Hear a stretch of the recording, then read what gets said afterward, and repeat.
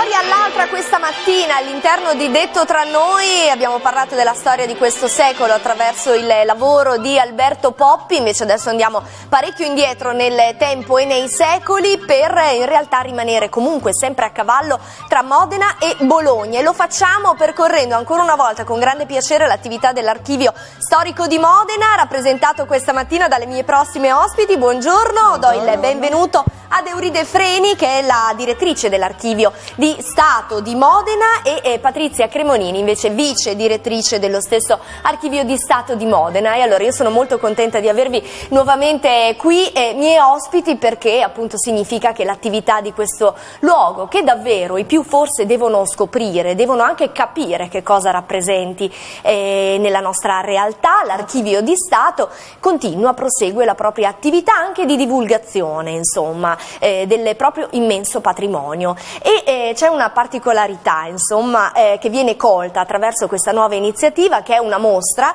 una mostra che ha un titolo davvero eh, ovviamente affascinante essendo, particolarmente suggestiva la materia che va a trattare, il titolo ehm, appunto il, il, progetto entro cui rientra questa, questa mostra, il confine che non c'è, bolognesi, modenesi uniti nella terra di mezzo, in modo particolare in questo caso ci si sofferma sulla presenza delle, eh, docu dei documenti che testimoniano il passaggio dell'Inquisizione, del Tribunale dell'Inquisizione appunto tra Modena e Bologna a cavallo tra il 1600 e il 1700, giusto? Certo. Direttrice. La particolarità è la, diciamo, eh, ciò che ci ha permesso di fare questo studio questa mostra è il fatto che l'Archivio di Stato conserva l'archivio del Tribunale dell'Inquisizione di Modena. Sì. È una cosa eccezionale che una istituzione laica conservi materiali di questo genere.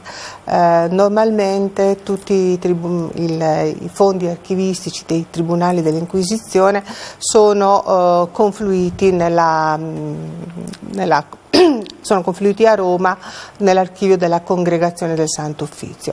È un caso particolare, quello modenese, sono soltanto due i, i fondi archivistici di Tribunale dell'Inquisizione conservati in archivi di Stato, quello di Modena e quello di Venezia. Esatto, quindi un'eccezione già. È un'eccezione dovuta alla vicenda particolare legata alla soppressione questo, del Tribunale nel 1785 da parte di Ercole III che dalla sera alla mattina, approfittando della morte dell'ultimo inquisitore di Modena il 6 settembre del 1785, soppresse il tribunale e incamerò tutte le carte, tutte le carte del tribunale che vennero poi risistemate eh, dall'archivista ducale Pellegrino Loschi. E questo ci ha permesso di eh, approfondire questo tema e di realizzare questa mostra, la cui curatrice è appunto Patrizia Cremonini, Cremonini che ce esatto. la può esatto. illustrare abbastanza esatto, bene. una mostra che rimarrà aperta al pubblico fino al prossimo settembre, quindi settembre. insomma il 20 settembre, quindi c'è tempo, il titolo particolarmente suggestivo, dicevo, Eresie e magie tra Modena e Bologna. Devo dire che mm. questo è un tema che eh, insomma il passare dei secoli davvero non ha eh, cancellato nel proprio fascino e anche nella presa che che ha sulla gente comune, insomma il tema della magia a cavallo tra realtà e eresia, il modo in cui la società accoglie e demonizza insomma, tutto ciò che è al confine tra il vero e il magico, insomma è davvero un aspetto molto interessante ancora oggi. Indubbiamente, ehm, ehm, forse vorrei anche anticipare una, una cosa, cioè il, il, fatto che questo è un progetto, sì. questa iniziativa in realtà rientra in un progetto più ampio di ehm, durata triennale che abbiamo promosso ehm, in collaborazione con eh, due partner oltre confine, diciamo bolognesi, sì. quindi il comune di San Giovanni Persiceto e il consorzio dei partecipanti di San Giovanni Persiceto. Ehm, e questo perché il nostro obiettivo è, è, quello di indagare questa fascia di cerniera eh, che eh, attualmente funziona solo come eh, pacifico confine tra province, ma in passato è stato un confine eh, politico, militare molto rilevante. Sì. E ehm, eh, l'obiettivo è ehm, una fascia tra l'altro in cui in passato ehm, è caratterizzata diciamo, da uno sconfinamento modenese, insomma da, da una contaminazione eh, modenese e come ehm, il primo tema è stato proprio l'Inquisizione perché sapevamo per certo che ehm, eh, tra 600 e 700 eh, è documentata questa lunga mano dell'Inquisizione nel, modenese, nel bolognese Sì. e, Ehm, e questo perché l'Inquisizione di, Bologna, di Modena ehm, ehm, legittimamente ehm, eh, si estendeva sulla diocesi di Nonantola che comprendeva anche Crevalcore. Sì. Per cui attraverso eh, l'indagine d'archivio abbiamo eh, recuperato in effetti casi processuali di Crevalcore e di Persiceto ehm, tra 600 e 700, abbiamo selezionato solo 14 casi, quindi un numero veramente esiguo Sì. se si considera che i fascicoli processuali conservati nel- nell'archivio sono eh, 5.185 fascicoli che danno conto di oltre 6.000 casi individuali. Quindi un panorama straordinario. Certo. Ehm, Se eh, consideriamo anche la ristrettezza, se così vogliamo dire, del territorio entro eh, cui si descrive, in- insomma 6.000 eh, casi tra sì, Modena e Bologna. eh, ristrettezza, Cioè- eh, cioè, eh, pensando alla giurisdizione che aveva, consideriamo che l- l'Inquisizione di Modena copriva le diocesi di Modena, Carpi, ehm, ehm, eh, Garfagnana e Certo, Nonantola certo. e dal 1780 si amplia anche su Reggio, ehm, Mirandola Sassuolo. Quindi Comunque 6.000 casi, insomma, sono, sono che possono eh, essere pochi. Esatto. Eh, posso aggiungere che in, in sì? questi, con questi 14 sì. ehm, casi, casi ehm, abbiamo esposto ehm, ehm, 8 molto eh, siamo, situazioni femminili, sì. diciamo. Ehm, eh, mm, eh, quindi sono donne di Crevalcore e San Giovanni, ehm, alcune, ehm, um, quattro sono guaritrici, sì. Eh, due malefiche e due ammagliatrici eh, la differenza tra malefiche e ammagliatrici è che le prime potevano provocare con i sortilegi Certo. il male e morte, le ammagliatrici eh, semplicemente cercavano di far innamorare. Eh, chiaro, più o meno. Ehm, e gli altri casi invece riguardano gli uomini prevalentemente impegnati nella ricerca di tesori nascosti, Ecco. attraverso, eh, eh, ricorrendo però all'aiuto del demonio. Ecco, Ecco. Quindi- Allora, entrando nel caso, credo che sia necessario fare invece un passo indietro per illustrare brevissimamente ai più insomma, che cosa rappresenta il Tribunale dell'Inquisizione, che tipo di cultura porta dietro di sé, anche che obiettivi eh, in, questo, in questo tempo e anche in questi luoghi, insomma, che cosa ha rappresentato il fatto anche che spesso le donne fossero prese anche di Eh, mira nell'attività di questo Tribunale. Penso che la caratteristica principale, quella che distingue questo materiale dai fondi giudiziari generali Sì. dei tribunali, sia il fatto che i reati perseguiti sono forse più eh, reati d'opinione.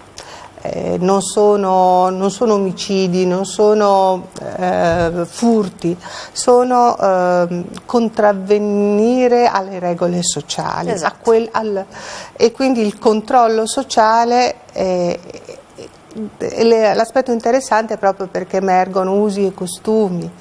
E non è un caso poi che eh, mh, ci sia questa forte presenza tra i rei delle donne. Sì, no? sì. Eh, tra l'altro una cosa interessante che veniva fuori, che è venuto fuori molto bene, mh, soprattutto nei casi delle eh, guaritrici, delle pozioni, eccetera, è come mh, in realtà siano pratiche eh, di tipo farmaceutico. Sì.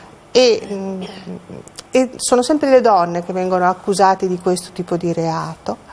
Se pensiamo che eh, proprio l'archivio comunale in questo, nella scorsa stagione ha promosso questa serie di ehm, conferenze dedicate alla teriaca, a questa pozione magica Sì. fatta da uomini Certo. eh, riconosciuti, eccetera.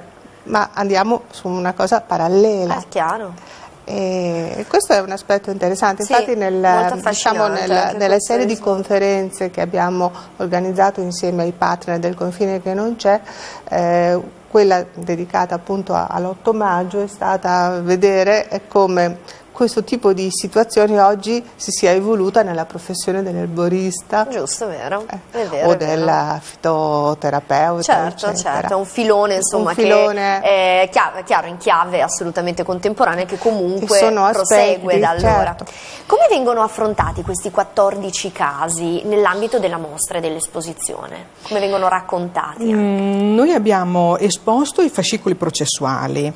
Eh, mh, consideriamo che i, i fascicoli processuali processuali eh, danno, attestano mh, il, um, quello che era la procedura del processo sì. eh, e quindi iniziano solitamente con eh, delazioni. Sì. Ehm, la delazione era ehm, eh, uno dei modi con cui poteva iniziare ehm, l'attività eh, inquisitoriale ehm, che era sollecitata attraverso dei bandi, eh, bandi generali o la bando di grazia dell'inquisitore generale. Uh-huh. E i delatori eh, diciamo, ehm, aderivano a questa imposizione anche perché ehm, se non comunicavano eh, rapidamente eh, di situazioni in odore di eresia potevano sì. essi, essi stessi divenire oggetto dell'inquisizione. Certo. Ehm, quindi eh, nel processo troviamo spesso lettere eh, di delazione oppure ehm, eh, diciamo quella che è l'istruttoria che facevano i vicari, in genere i parroci eh, delle, delle, delle, vicarie, che avevano il compito appunto di raccogliere gli indizi eh, da comunicare all'inquisitore generale. Eh, seguiva poi eh, l'incarceramento del reo, che sì. già fin dall'inizio veniva detto, definito reo. tale sì. a priori, sì. ehm, un periodo di incarceramento che serviva a minarne lo spirito fondamentalmente e ehm, senza informarlo dei capi d'accusa. Ehm, naturalmente era l'oscuro anche del delatore, cioè il delatore aveva certo. la garanzia dell'anonimato. Ehm, poi veniva informato eh, appunto de, de, del reato commesso, sì. poteva scegliere un avvocato se voleva, oppure c'è un avvocato d'ufficio che poteva ehm, essere, venire a conoscenza anche delle, delle denunce, ma sempre eh, in forma anonima. Ehm, eh, e abbiamo il resoconto, il verbale, ecco, nel, sì. nel, nel, nel fascicolo ehm, eh, c'è il verbale del, dell'interrogatorio, le, le doma- ehm, redatto dal notaio che sì. era sempre al fianco dell'inquisitore. Sì. Ehm, le domande dell'inquisitore sono ehm, rigorosamente in latino, la risposta in volgare, Volgare, e diventa st- utilissimo perché talvolta troviamo anche delle espressioni desuete, modi espressivi ormai scomparsi. Ehm, Sì, durante... credo che i livelli di interesse rispetto a questo materiale Sono siano tantissimi. infiniti, no? Ah, da quello certo, linguistico a quello certo. storico a quello Ecco, insomma, stanno, stanno inquadrando esatto, sono proprio ehm, i... i corpi del reato, Ecco. Ecco, talvolta a- allegati al, al Sì. fascicolo processuale ci sono i corpi del reato, cioè che vengono mostrati Og- in questa esposizione, esatto, quindi og- c'è esatto, sì, Ecco, sì. Ad Ogge- esempio? o- oggetti che eh, spesso sono formule magiche eh, oppure oggetti che mh, erano stati utilizzati per i riti, insomma, che diventano le prove d'accusa Certo. e di conferma del Certo. reato commesso. insomma. Certo. E poi abbiamo esposto naturalmente anche i, ehm, i bandi eh, di cui mh, dicevo prima, bandi di grazia o bandi generali e mh, c'è un commento, abbiamo Sì. commentato ogni, ogni caso, eh, pannelli, eh, ehm, in alcuni pannelli abbiamo ehm, esposto in modo dettagliato la vicenda di ciascuno di queste Sì. eh, persone. insomma. Come si sono conclusi questi 14 casi? Eh, con delle pene, Delle pene, ovviamente, sì, condanne? Eh, condanne, certo, Tutti però, e 14, eh, nessuna soluzione. eh, sì, nessuna soluzione, nessuna soluzione. Mm, solitamente era così, insomma, Sì, sì. c'era comunque una condanna ehm, più, più lieve o più grave a seconda Sì. delle situazioni.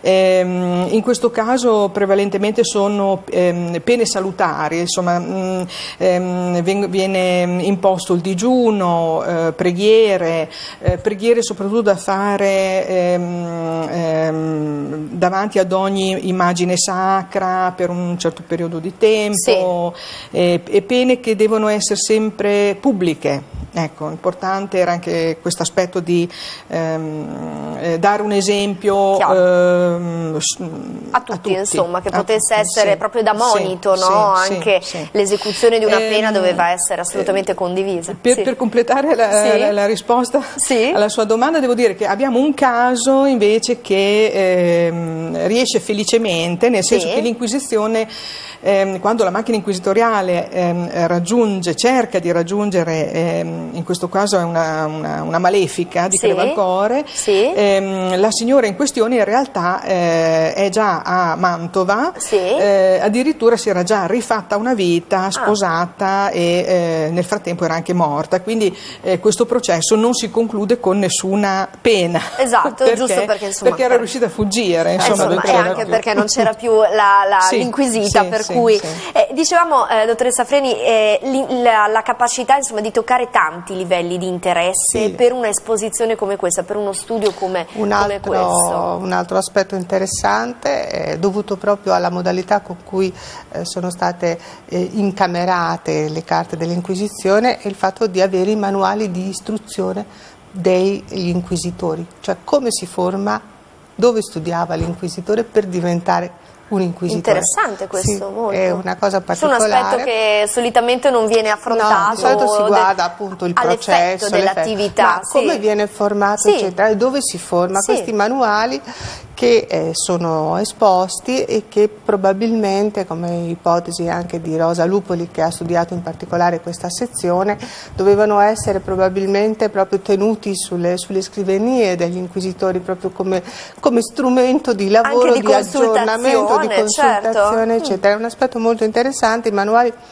in realtà ehm, erano mh, in, confluiti diciamo, nella biblioteca dell'archivio di Stato sì. senza una precisa mh, distinzione rispetto al resto del patrimonio, probabilmente nella seconda metà dell'Ottocento quando si è andata a costituire la biblioteca eh, dell'istituto sì. archivistico, ehm, gli archivisti bibliotecari di allora hanno operato una distinzione sulla base del materiale, quindi il materiale librario è diventato materiale di biblioteca senza tener conto del legame con, eh, con il fondo archivistico e le, le motivazioni della provenienza. Eh, è stato merito di Rosa Lupoli riportarli, individuarli sì. e eh, ricollegarli al fondo, quindi questo ha permesso nella prima sezione della mostra che mh, è specificamente della mostra modenese, perché sì. nella mostra che, mh, allestita a San Giovanni e quindi nel catalogo questa parte non è presente ma è descritta abbastanza bene nella guida, sì. si vede proprio anche come funzionava il Tribunale materialmente come istituzione sì. e anche appunto come si va a formare la figura del, eh, dell'inquisitore, che in realtà il processo inquisitoriale sembra essere stato poi veramente eh, la forma di processo più, ehm, or, più studiato, cioè più studiato nelle sue modalità. Sì. E da, tanto da diventare un modello per i, processi civili. Ah, ecco, addirittura. Proprio questa modalità, mm. sì. Quindi questo insomma ci fa capire come eh, insomma, il materiale in esposizione e più in generale conservato presso l'archivio di Stato di Modena, una condizione che, lo ribadiamo, il nostro archivio condivide con la sola Venezia, se non vado, sì, se non vado errato. Fondo, sì. Ecco, eh, insomma ci mette nella posizione davvero di poter disporre di un materiale assolutamente interessante, mh, mm, anche proprio per lo studio che eh, tuttora tuttora continua e prosegue appunto eh, di, questo, di, questo, momento insomma, certo. del, nostro, del, nostro, passato, è una, una, grande ricchezza. Questo ulteriore aspetto, dottoressa Cremonini, è quello della formazione anche di coloro che operano all'interno del Tribunale dell'Inquisizione, è un ulteriore arricchimento no, per questo per la, eh, per la conoscenza certo. di, questo, di questo fenomeno, insomma di questa certo, realtà. Certo, ehm, il fatto che ehm, l'archivio sia ehm, in assoluto tra i, più, mm, tra i, complessi più integri che si siano conservati fino ad oggi eh, ne fa uno strumento fondamentale per sì. esaminare eh, l'evoluzione dell'Inquisizione. Sì. Eh, consideriamo che la nostra documentazione è data dal 1329 e in realtà noi sappiamo attraverso attraverso fonti che eh, una domus inquisitionis a Modena è attestata già nel 1299, quindi eh, fin dagli, al- Agli albori, dagli albori sì, proprio. sì, esatto. Ehm, epoca in cui ehm, eh, in realtà era sede di una eh, vicaria, diciamo, perché il- la- la- l'Inquisizione eh, prin- principale aveva sede a Ferrara, capitale degli Stati Degli- Estensi. certo. Sarà solamente col trasferimento a Modena della capitale che anche Modena avrà una sede eh, dell'Inquisizione generale. certo. Ehm, eh, consideriamo eh, eh, quindi il lungo, lunghissimo lasso di tempo, insomma cinque secoli almeno, no? visto che eh, ehm, l'Inquisizione eh, affidata ai domenicani insomma, viene abolita da Ercole III appunto nel 1785, ci dà l'idea del- del- della parabola lunghissima ehm, della documentazione che ci permette oltretutto di indagare sia il periodo medievale che ha una caratteristica ben precisa, cioè un periodo in cui l'Inquisizione ehm, è- ha, un, ehm, ha un carattere di eh, eccezionalità, di emergenza, Sì, ecco, per sì. cui eh, le deleghe papali sono eh, eh, temporanee per Sì. casi specifici. Eh, mentre con l'Inquisizione moderna, ehm, e parliamo del 1542, Sì. eh, per volontà del Papa eh, Paolo III, abbiamo appunto il- il- la Sacra, Santa Romana ehm, Inquisizione che ehm, ehm, eh, attiva una struttura eh, verticistica ehm, con una congregazione di cardinali a Roma, ehm, ehm, molto ge- eh, gerarchica, con una ehm, rete capillare nel territorio. Eh, quindi la nostra documentazione permette di indagare eh, Proprio anche questo, questo sviluppo, Sì, insomma, quindi sì, questo anche sì. mutare nelle intenzioni e nel carattere Certo, di le questo. forme organizzative, Certo. i rapporti con il potere, eh, i poteri locali, il Certo. potere ecclesiastico eh, rappresentato dal vescovo e il potere secolare rappresentato dal duca. Eh, consideriamo che eh, nella- ehm, eh, abbiamo esposto nella prima teca ehm, la lettera patente di nomina del primo inquisitore generale di Modena che è Giovanni da Montefalcone, che era priore del, eh, dei Domenicani di Modena, Sì. e questo si dice espressamente nella lettera, viene, questa, eh, viene incaricato per la sua prudenza. Eh, con prudenza si intendeva la capacità politica di ehm, collaborare e rapportarsi appunto con il vescovo e con il duca, ehm, che è fondamentale perché il duca ehm, concedeva il braccio secolare, Eh, il braccio certo. secolare permetteva l'arresto dei rei eh, e eh, al braccio secolare toccava eh, eseguire la condanna capitale, quindi certo. eh, i rapporti andavano eh, politici. Chiaro, andavano, chiaro, eh, ehm, gestire questi rapporti tra potere sì, spirituale sì, e potere sì, espressione, potere spirituale e potere temporale, sicuramente richiedeva Anzi, capacità e una nomina assolutamente. una- un'altra teca che ha ehm, ehm, diciamo, ehm, esaminato in particolare eh, eh, la mh, professoressa Grazia Biondi ehm, ehm, eh, affronta eh, un caso di eh, conflitto di poteri che avviene a Carpi negli anni 30 del 600 eh, attorno a una ehm, possessione demoniaca mh, collettiva che avviene all'interno del convento femminile di Santa Chiara di Carpi, Sì. ma dietro al quale in realtà si muovono delle forze ehm, eh, di potere, eh, c'è un- una, una- una lotta di supremazia tra eminenti personaggi ecclesiastici, quindi ehm, la badessa che tra l'altro era in origine figlia di Cesare, del duca Cesare d'Este, eh, che è in contrasto con il fratello che nel frattempo è diventato un ehm, eh, mm, frate cappuccino, ma aveva regnato per otto mesi come duca.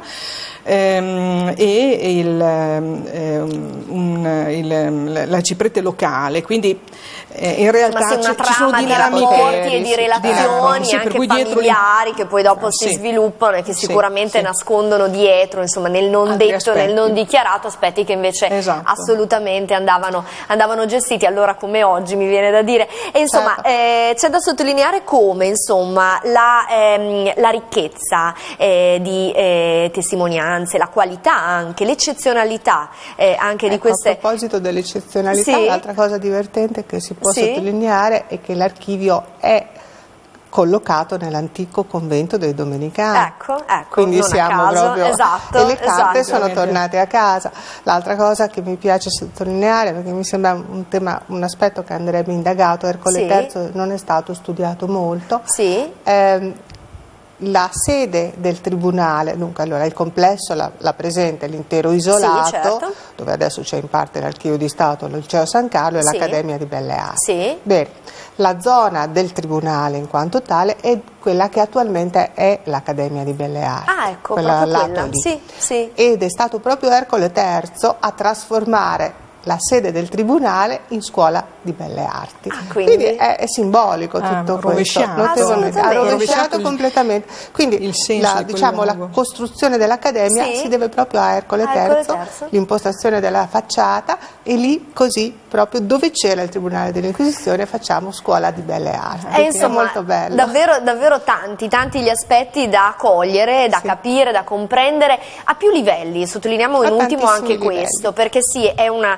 eh, esposizione che sicuramente si presta all'occhio attento degli studiosi, dei professionisti anche di storia e di ricerca, però eh, si rivolge, perché no, a chiunque, Sì, perché lo infatti, scopo sì, anche negli ultimi anni insomma, dell'attività conoscere la dell'archivio di Stato è quello, esatto, è quello di divulgare no, la propria Infatti, ricchezza e il proprio il patrimonio. primo maggio abbiamo fatto un'apertura straordinaria che ha avuto un notevole successo, anche Ecco. se è stata organizzata proprio all'ultimo momento, diciamo, per cui non ha avuto possibilità di essere molto comunicata, però abbiamo avuto un ottimo riscontro di pubblico, proprio a dimostrazione di come questi temi trattati seriamente, Sì. ma trattati anche in maniera comprensibile, Leggibile, chiaro, accessibile. chiaro, chiaro. E adesso speriamo di avere anche ulteriori visitatori. riscontri voi. anche con alla sua- questo naturalmente allora lo ribadiamo fino al 20 di settembre per Fino cui questa 20 di volta siamo arrivati per favore, siamo eh, per tempo anche con l'attività di eh, comunicazione di divulgazione di questa che è una mostra eh, davvero, davvero interessante dalle tante facce dai tanti aspetti che meritano di essere